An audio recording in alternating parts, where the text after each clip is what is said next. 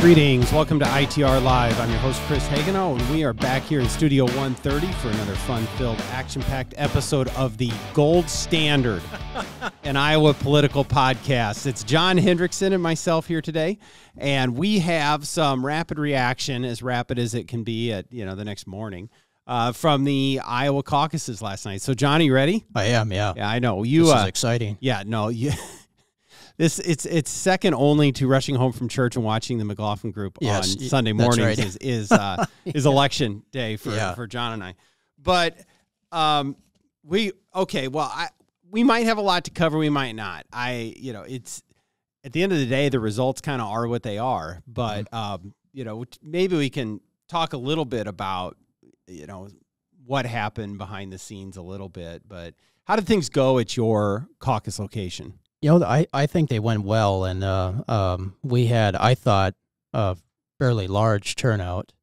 In fact, um, I, I was recruited in the parking lot to help with registration because Yeah. uh, they needed help, and that was fine. And so it was actually it was actually fun. I enjoyed it, and so I, uh, as I was helping to register people and sign people in, I got to meet some neighbors that I that Yeah. I had never met before, and and so that was a that was a fun. And then fun part of it, and then uh, working with some of the people I did, I made some new friends. So I you know was- that's one of the under uh, reported neat things about the caucus. It's your neighbors, yes, yeah, and eh, you know you'll meet. You kind of know who some of the folks are that are going to be there if you've lived there a while. Then others like, wow, I didn't expect to see them here, and and uh, you chat with some folks. I mean, I had a conversation with one of my neighbors down the street about you know their Christmas lights. yes, and because we had you know Yeah. like traded messages like hey who did your christmas lights and and so we, you know it's like those kinds of conversations yeah. right you don't you don't have those when you vote in a, a primary or general election you talk with your neighbors but And then I, I, I thought it was funny because the mainly the national media was making a big deal with the cold weather, and and I saw at least um, several people that uh, that had shorts on really at my caucus. So. Um, which I thought was interesting, you know, just kind of like a long sleeve shirt and shorts, and that's impressive. so yeah, well uh, were they younger? No, no, these Really? were uh, middle age, and uh, one guy looked like he was in his fifties. huh. I mean, uh, well that's more more power to them i was i was it was- bundled. Um i you know i felt like we had a pretty good turnout at my precinct location as well. Um you know rapidly growing suburban you know uh, two precincts together but we had i don't know 150 in mine and maybe 200 in the other one which i Mhm. thought was pretty good similar to a little bit more than 2020 which was not really competitive but if you Yeah. remember uh, still try to turn folks out for that one mhm. but I thought that that was the big question. I think going in is who would actually show up um, with the cold, and uh, I know that one of the campaigns was thinking maybe it would be 130,000 would be the total turnout statewide. The record in 2016 was 187,000 statewide, and then last night was 110. So I think it clearly was uh, down Mhm. a lot. And and I don't know if that's all the cold or if folks, you know, we talked about in the last podcast the Des Moines Register's Iowa poll that showed and other polls that showed uh, Donald Trump with a with a big lead. If folks just decided, you know what, this is already Mhm. in the bag, I, I don't need to participate. So I don't know, but Yeah. it was it was definitely statewide lower turnout. yes, yeah. Um, so I don't know The what to make of that so much, but The other thing I, I noticed, and uh, this would be my, I was trying to think. I think it, this was my third, third or fourth presidential caucus, and um, this one, to me, seemed like people were more enthusiastic to be there than than previous ones, and maybe that's just, because there was there was people, and I, I could I could see people, uh, especially for Trump, DeSantis, Haley, and Vivek, all had very energetic supporters there, yeah. uh, and and so that was kind of that was kind of fun to see. We, I, I was a little bit surprised. We did not have anyone speak for Nikki Haley in my uh, location.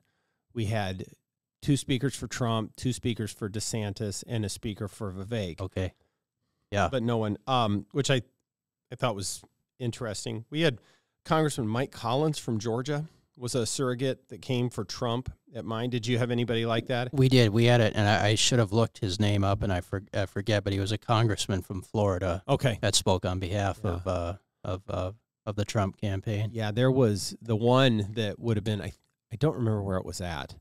Um but it Nikki Haley went and spoke at I think it was a Des Moines precinct and then immediately after was Donald Trump Jr. Wow. and I apparently didn't hold back Yeah. afterwards. So that would be fun if you could yeah. have those kind of fireworks Yes, and those yeah. kind of speakers. And and some locations have tried to they didn't it didn't seem like Polk and Dallas County at least did it as much as they had in the past. They're trying to draw as many precincts into one kind of super site Mm-hmm. location and draw that kind of activity. It really was seemed much more spread out, which I think is better for that kind of Yes, neighborhood yeah. idea. So I, I'd be curious what some folks um, experiences were with that across the state um, of getting you know a lot of people around Uh, here look here in central iowa we get a lot more of the candidates right because they want to get to their victory party and so if you're at a a caucus location typically a suburban caucus site you have a pretty good chance of getting getting a pretty good surrogate at your Yes. at yeah. your location so Yeah. um so another thing that i think uh, we we can recap the actual results. I think most of our listeners at this point probably probably know what happened, but Donald Trump with 51% of the vote, Ron DeSantis in second at 21%, Nikki Haley third at 19. That actually seems to be fairly in line with the public polling. Would you agree with that that we saw? I mean, we we have no problem trashing Yes, the, yeah. the polling. Yeah. Yeah. Um, I think the Des Moines Register got second and third flipped, but Mhm. not really that far off, right? yeah. So, Yeah, I, I was actually uh, I, I don't want to say I was surprised, but my, my prediction was off big time. Yeah. And I, I thought the polls would be more wrong for Yeah. some reason. And I actually, and I don't know if I shared this on this program, but I know I shared it with you. But I, I actually thought DeSantis would pull off a victory. you were you were on record here in the Yes. office. I will vouch for that. that you thought that, and you'd been saying that for a long time Yeah. that you thought Yeah. that Ron DeSantis would ultimately win the Iowa caucus. Yeah. And I, I really did. And, and I, and it wasn't any special reasoning I had. I just thought because of the, the ground game that he had and, and the support he had among the evangelical community that, that it would carry him. And, and I, uh, Fox had done some exit polling and, and demonstrated that 55% of uh, evangelicals had supported uh, former President Trump. It is always. I, I'm a broken record on this, but in polling, how you define evangelical. Yeah, that's a good point. um, because I think that there's a lot of people that are self-identified evangelical Christians for whom it's not.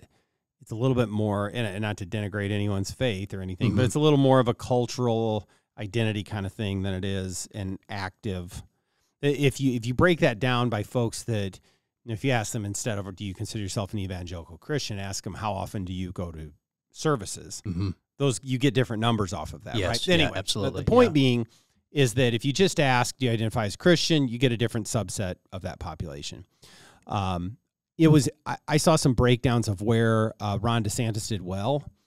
Uh, it was the northern suburbs of Des Moines, primarily. So Ankeny Johnston, he did very well in, and I think he did pretty well in my area, although still um, didn't quite. He was tied for first in mine, but and then also Pella and Sioux County, Orange City, Okay. Yeah. which are conservative strongholds, Mhm. but um, probably a more of what you'd classically think of an evangelical voter. So those Dutch communities that Yeah. are very Republican, and the north suburbs of Des Moines. Those were the DeSantis strongholds. Be interested, uh, kind of to read more about why that is. What's the common thread between those? Although I.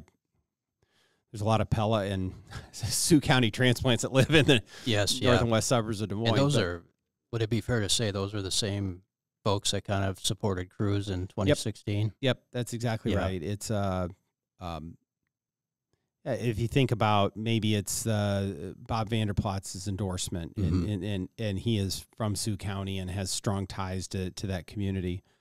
Um, anyway, so I, I thought that was interesting. Trump obviously did well statewide, not as well in maybe the suburban areas. He actually finished in third place in my precinct.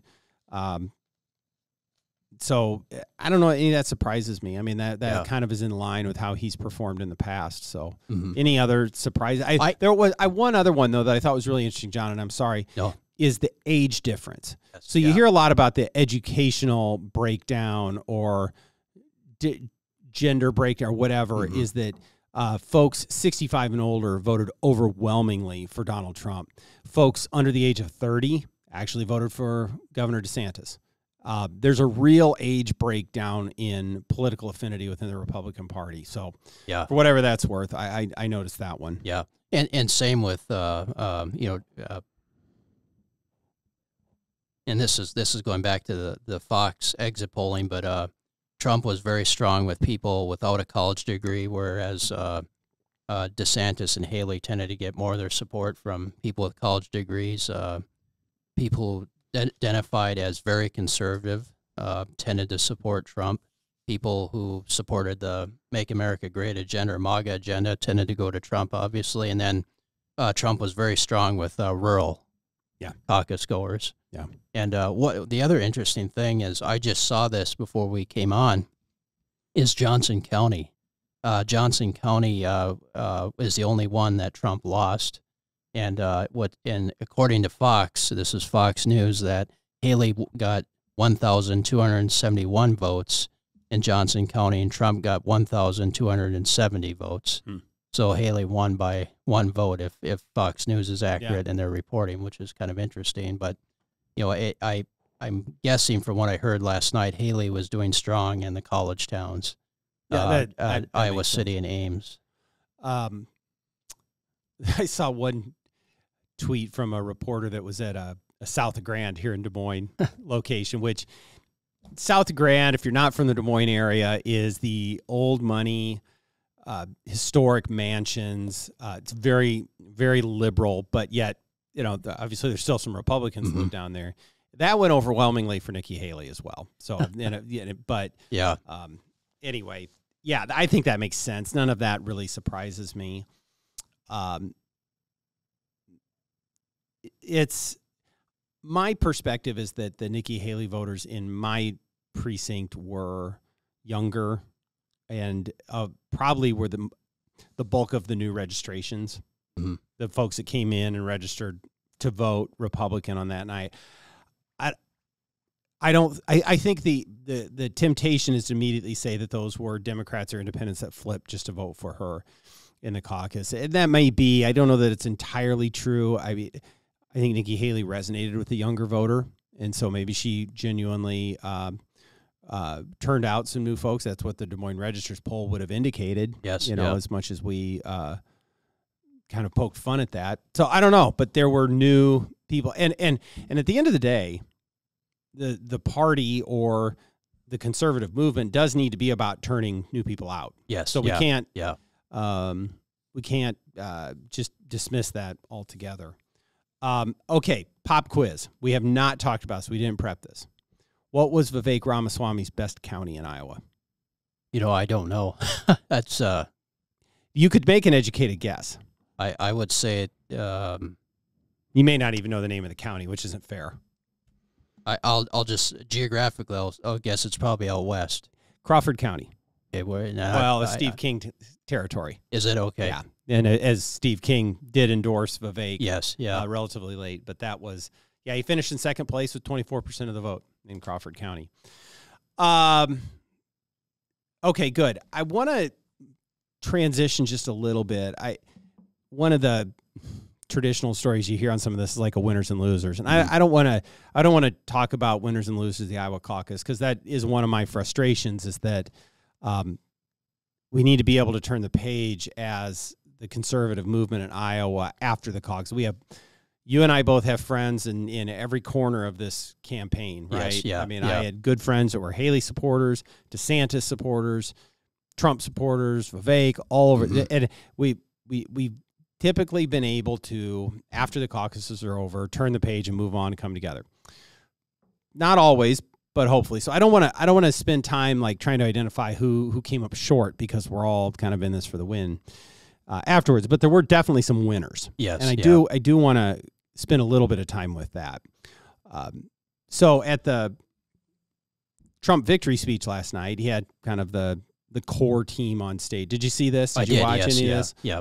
Um, and a lot of them were sort of uh, look. He had uh, Eric Trump, Don Jr. on stage with him, some staffers, and some Iowa folks as well. Mhm. So, um, going through that, um, what were your takeaways? Did you watch the whole speech? Because I didn't watch the whole speech. I did. I watched it this morning. Okay. Uh, I unfortunately I still do not have internet or cable at home because of MediaCom's wonderful service. so, how uh, did you watch anything? Well, I I, I waited till um, I I tried to watch as much as I could on my phone, Oh, okay. and then uh, this morning when I came in, I came in early to and I watched okay. uh, archived footage from C-SPAN of, It- of some of the speeches. but That's most mornings, isn't it? yes, That you yeah. come in early and Yes, watch yeah, archive C-SPAN. yeah, okay, yeah. all right. Just like what was any different about today? That's right. okay.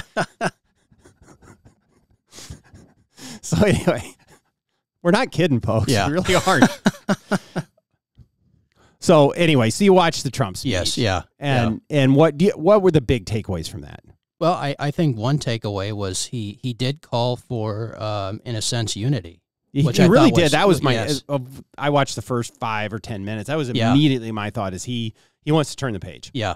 And he also is, uh, and one thing I, which I, I, I think he's done very well so far is he's he's he's uh, whether you agree or not, he's stayed on message of, of focusing on the problems with the current administration, and so he didn't necessarily uh, lash out at any of the Mhm. his opponents in the Republican Party. He called for unity. You know, we need to the the Mhm. real objective is to win this election and to to get the Democrats out of power, and then he reminded the uh, the audience there that you know uh, drill baby drill and secure the Mhm. border his top priorities.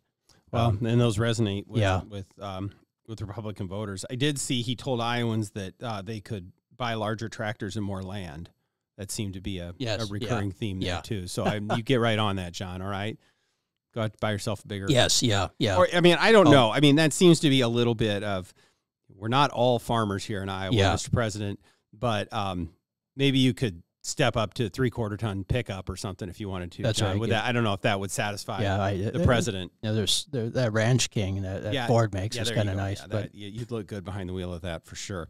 Um, but yeah, definitely unifying. So the some of the Iowans that he had on stage with him, I think these folks clearly, if you pick a pick a horse and the horse wins, you come out a winner, right? Mhm. Um, uh, one who got special uh, consideration was Attorney General Brenna Bird yes, who made a yeah. very not early on, but I think it was late summer or so, very public endorsement of Trump and was on stage with him there. And uh, she certainly uh, comes out a big winner in this uh, Mhm. to to get President Trump's um, favor on this. Um, Trump had a lot of really nice things to say about Senator Brad Zaun. yes, yeah, And and I'm watching this, and I think I've heard this before, but I had forgotten about this. That Trump credits Brad Zaun of being the first person to endorse him in the entire country. in the entire country, yeah, Yeah. even before he announced his official run for president. yeah, yeah. So and and I look, I I know Brad well, and and it's authentic. He Yeah. he just has been there, and Brad is very loyal, and he's just he's never wavered. Mhm. like Trump from the Yeah. beginning, and he's never never moved off of that. Yeah. So, um, kudos to to Brad Zaun. Um, State Representative Bobby Kaufman got uh, has also has been a very consistent Trump supporter going back to I think 16. I'm not sure, but um, House Ways and Means Chairman, someone Yes, we work yeah. with uh, on our issues. But um, he took a very active role in the campaign, and, and the president had some very nice things to say about his uh, him and his dad as well, state party chairman Jeff Kaufman, and their professionalism and, and their their ability, and I think that shone through. So obviously, uh, big winner last night. Now this is the last one is the one I think got the biggest applause in the room. I could be mistaken, but it was listen, and that is my good friend, uh, former uh, acting Attorney General Matt Whitaker. yes, yeah. And of all those mentioned, um, I thought Matt got the biggest applause. I think you're right. Yeah, and and he has look. Uh, Matt's got a following yes, among Iowa Republicans, and I I honestly don't know whether Matt ends up uh, running for something again in Iowa, but I I think he's got. You want to talk about winners from last night? I think Matt has, if he would decide to do that, um, certainly has a good uh, foundation to decide to do something like that in the future. Yeah. Would you agree with that? I, I absolutely, and he he's been, uh, I mean, very instrumental on the campaign trail for President Trump. I Yes. mean, uh, delivering speech after speech, and and uh, uh, and and really um, is very thorough on the issues. Yeah. and I I think too that folks look if you know Matt, you see him. He does Fox News hits, other uh, you know, other cable news Mhm. hits. He's he's a frequent contributor on those. But Matt is part of the national Trump operation. Yes. So these yeah. other folks have been helpful in Iowa, not Mhm. to diminish their role at all, but Matt is legitimately across the country for President Trump and the America First movement and has been for years, frankly, since the president left office. So, um, is and, and I'm still in touch with Matt, but he is very much connected with that entire campaign operation. Um, and I don't know if if what his role is going forward, but clearly, I think Matt Whitaker is a big winner from the caucuses last night. Yeah, I I would agree. Um, so there was one piece that was a little bit, I guess, transitioning again, that the DeSantis team specifically uh, was talking about was how early the race was called. Did you see this as well? I did, yeah. In fact, I I, I was surprised because um, you know we had just in in, in my caucus we had just uh, finished everyone putting their ballots in the Yeah. in the box, and uh, I just happened to look at my phone, and all of a sudden I had uh, emails from uh, uh, newspapers I subscribed to, all Yeah. alerts uh, predicting, you know, basically saying Trump won, and I just it, I just thought, how could this be? Yeah. Um, it was that quick. they only had just a small handful of locations. Here's the difference. I, look, we often have when you on regular elections, right after the polls close, you get a couple of results in and you can declare a state, right? hmm That's fair. If you're going to have a big win and you know it, you can do that because the polls are closed, right? And the media is very clear about this. They don't make announcements until it's all done. Well, this is different because there are folks that still had not voted. Yeah. And there's a reason that media outlets wait until after, you know, if you're watching election night results, it's eight o'clock, polls close. Okay, now we can make a projection. So I think it was, I think it's genuinely was irresponsible for the Associated Press to, to do that. Yeah. Because in mine, we had not voted yet. We were still listening to speeches. Yeah. And so people are here on their phones, have not voted, and they see that there's a winner already. Mhm. Uh, that's that's a problem. Yes. Yeah. And look, I don't know what the magic hour is. I think most Iowans had voted by eight o'clock hmm that were out there, but you need to wait until then. Yes. Uh, there was I saw a couple of reports, and I don't remember where that there were actually some caucus locations where people just left. Hmm.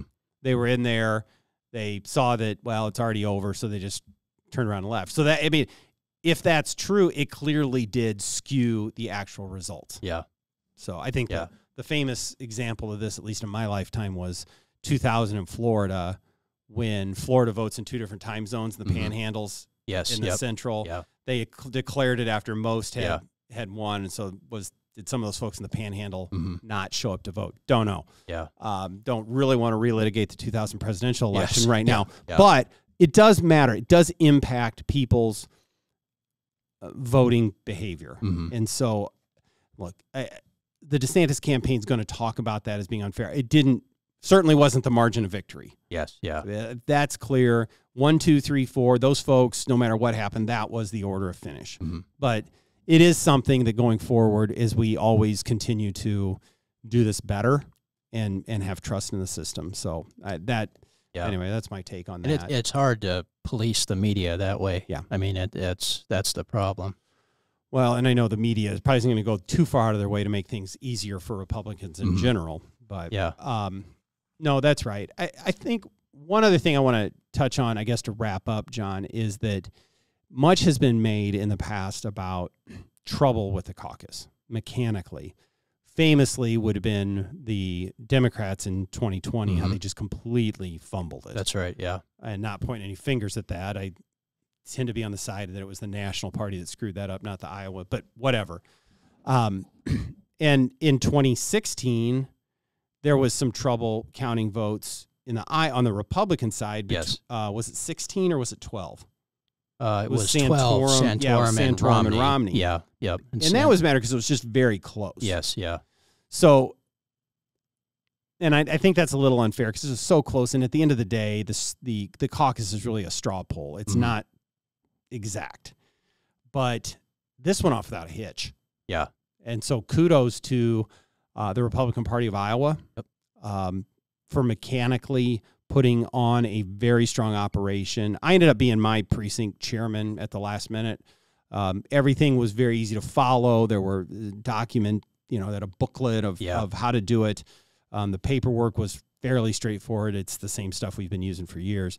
But uh, there was a reporting app Mhm. worked real slick and typed it in had a central committee member uh, with me there he it, it took 20 seconds Yeah. and it uploaded it was it was slick and all worked so my my point john is that the media would have loved nothing more than to point out just how screwed up everything got it Mhm. wasn't No. it went off very smoothly Yes, yeah, yeah, and I, I, um, I mean, just even with the registration process that I was helping with at my caucus, um, it was very smooth. I mean, the books were accurate, uh, Mhm. the lists were accurate, and the people that were either changing parties or registering for the first time that went smooth, and Mhm. and so there's a um, a lot of training that went behind Yeah. uh, this, and I think it was it, it paid off very well. I, I think that's right. And kudos out there to any of our listeners who stepped up to be precinct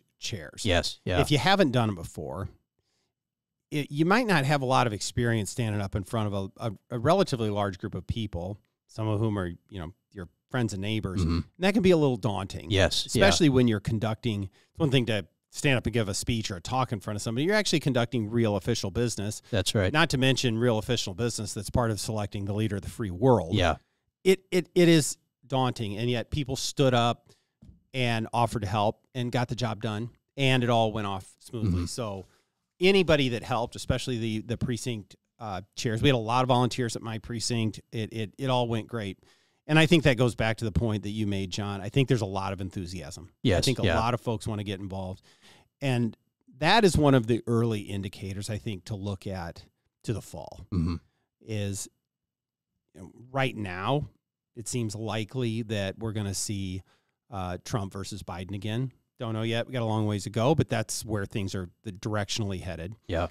And enthusiasm will will determine a lot of that. Mhm. In Absolutely. 2020, President Biden had a lot of enthusiasm. Yes. Yeah. A lot of it was to defeat Trump, but Mhm. he had a lot of enthusiasm, and you could feel that if you Yeah. were out and about. Yep. I can tell you from last night in my area and what I've picked up from other people's areas, there's a lot of enthusiasm on the enthusiasm that was not there in 2020 Yes. to win to defeat Joe Biden. Yep. I, I would agree. I mean, he, listening to even people that were not supporting Trump, the same thing. Yeah. Uh, were saying we've we've got to change courses here. Yep. So, so something early to watch. We're going to be tracking that, John. Yeah. So, any Yeah. closing thoughts on the Well, I- I- caucuses? yeah, I just want I- I knew you uh, would. Yeah, uh, two things. One one is with Vivek because I, Oh, I yeah, listened to his. Uh, uh, he suspended his campaign last night, and so Mm-hmm. I listened to his speech, which I thought he did very well uh, to his supporters. And and one thing uh, I have to say, and you know whether one agrees with the Vivek or not, I thought he was one of the more original thinkers in this campaign, and I thought he brought out some uh, issues that need to be discussed.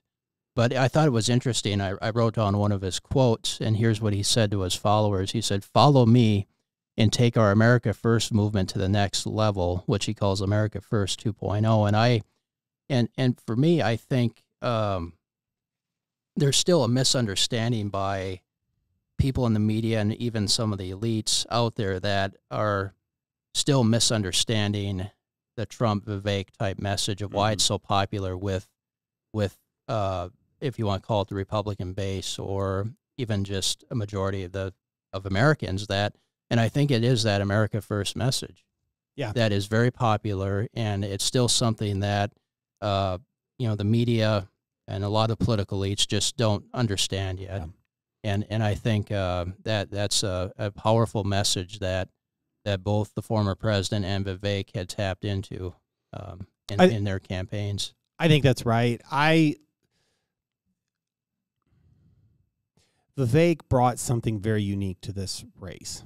Yes. And whatever I've talked about it, his ability to communicate the principles of conservatism or America 1st Mm. conservatism and defend it were far beyond anybody else in the race. Yes. Yeah. Just just truly gifted at that. yeah.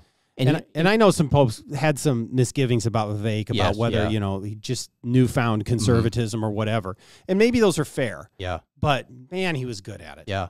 And he sort of reminded me a little bit of, of, of Reagan in, in a certain extent where he wanted to focus on, you know, what does it mean to be an American and sort of rediscovering the spirit of, uh, of the, you know, Mhm. the principles of the American Revolution and what it means to be uh, a, a citizen. And, and, uh, and he struck that chord of, you know, needing to, uh, to think of ourselves as a, as an exceptional nation. Yep.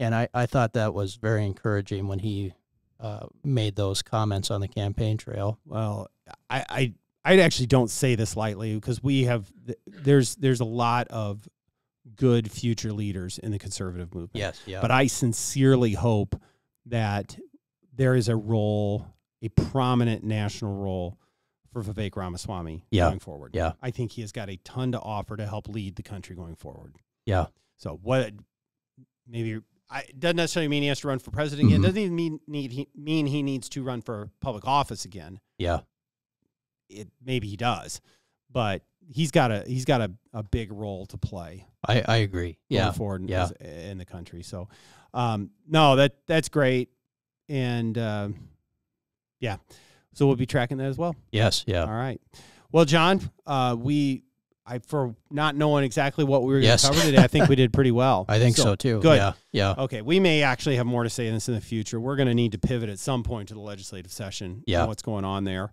Uh, short week. Uh, Yes. The, the legislature typically comes in on Monday. They're uh, just now uh, coming in on Tuesday morning because yesterday being a federal holiday. that's right. Yeah, And the caucuses, folks need to be home in their home districts. So be a short week for the legislature. Probably won't get as much done, but uh, as some of these major bills move through, we're going to be tracking them and, and have more to say in future episodes. So absolutely. all righty. Well, thank you, John. Yeah. Thank you, listeners. Thank you, everyone that braved the cold last night to be a part of the um, the Iowa caucuses. And uh, don't forget to like and subscribe and tell your friends, your new friends that you met at the caucuses last night. And with all of that, we will see you next time on ITR Live.